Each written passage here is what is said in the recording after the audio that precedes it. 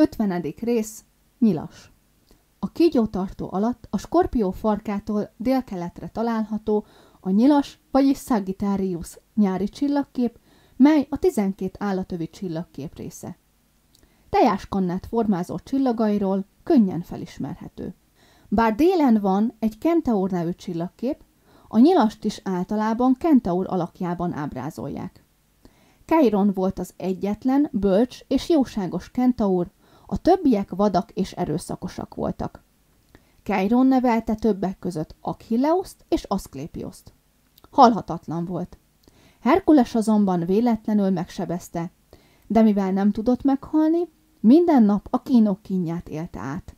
Végül alkot kötöttek, így odaadhatta halhatatlanságát cserébe Prométeusz szabadságáért. Hálából Zeus az égre emelte őt csillagkép formájában. A középkorban az európaiak a magyarok csillagképének nevezték, hiszen kalandozásaink alatt sokszor találkozhattak velünk. Ekkor alakult ki a híres mondás, magyarok nyilaitól ments meg uram minket. A magyar néphagyomány egy csillagképben valamilyen szekeret látott, ezért koldus szekérnek, taligának vagy törökországi göncölszekérnek nevezte. Alfája a rugbát, a nyilas térde, és itt is található. Bétája az arkab. Deltája a Caus meridionalis, epsilonja pedig a Caus australis.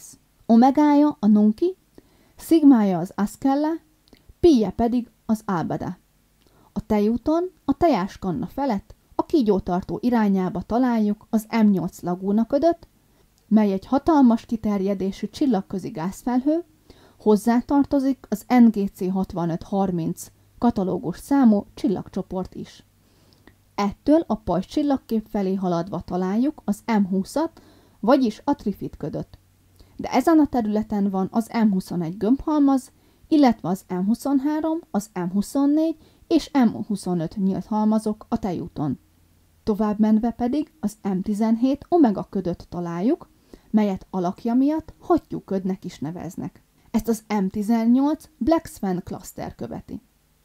A tejáskanna fedele mellett délkelet felé haladva találjuk az M22 gömbhalmazt, a fedél csúcsát jelző csillag felett pedig az M28 gömbhalmazt. A kanna alsó részét összekötő képzeletbeli vonalon a sarokhoz közel található az M54 gömbhalmaz, majd tovább haladva az M70 gömbhalmaz.